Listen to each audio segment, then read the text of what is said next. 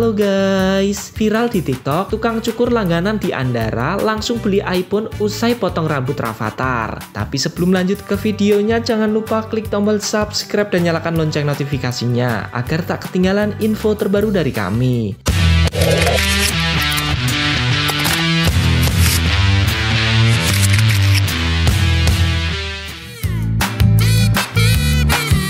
Baru-baru ini, sosok tukang cukur langganan Raffi Ahmad dan Rafathar yang kerap datang ke Andara untuk mencukur rambut ayah dan anak itu tiba-tiba viral di TikTok.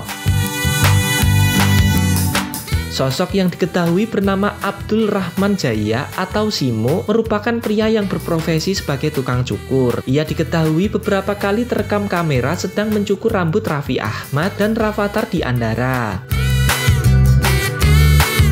Sosok bertato tersebut pun tiba-tiba viral di TikTok setelah video unggahan akun @bosancukur meledak. Terlihat dirinya digoda habis-habisan oleh teman-temannya usai membeli iPhone baru setelah mencukur rambut anak sulung Raffi Ahmad dan Nagita Slavina Rafathar.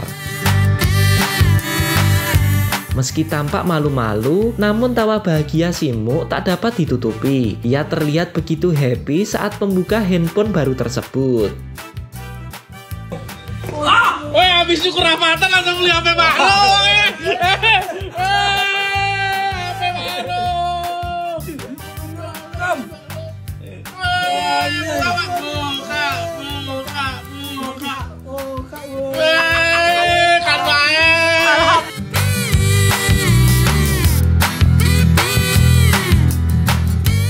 Oke terima kasih sudah menonton video ini. Jangan lupa like jika kalian suka subscribe, komen, dan share ya. See you next video guys